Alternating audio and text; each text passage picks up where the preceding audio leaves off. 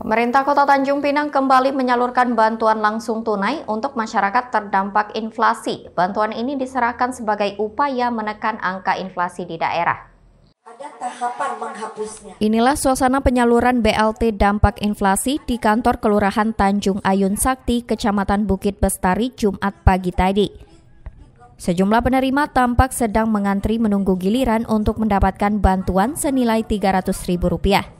Dalam penyaluran ini terlihat Wali Kota Tanjung Pinang Rahma memantau secara langsung serta menyerahkan bantuan secara simbolis kepada perwakilan warga. Rahma menjelaskan bahwa penerima BLT dampak inflasi merupakan warga yang tidak termasuk dalam data penerima PHK maupun bantuan pangan non-tunai.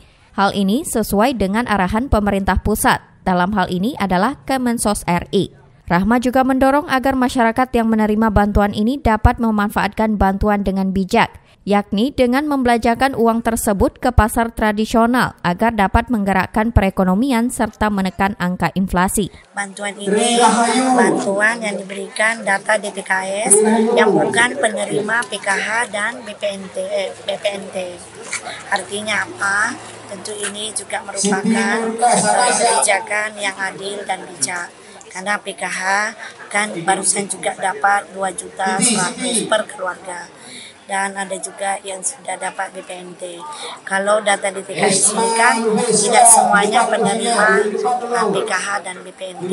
Diketahui jumlah penerima BLT dampak inflasi di Kota Tanjung Pinang tercatat sekitar 8.930 orang.